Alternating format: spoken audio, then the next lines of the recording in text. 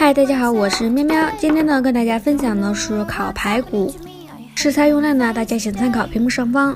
首先第一步呢，咱们来腌制下排骨，放上料酒、蚝油、蒸鱼豉油、蒜末、葱段、小米椒和姜末，加上一勺盐、一勺糖，混合均匀。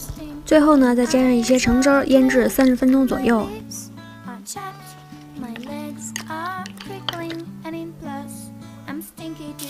剩下的蒜末呢，炒香备用。烤盘铺上锡纸，码上排骨，放上炒好的蒜末，表面呢也盖上锡纸。烤箱提前预热两百三十度，上下火烤三十分钟。烤好之后呢，拿掉锡纸，再继续烤制十五分钟即可。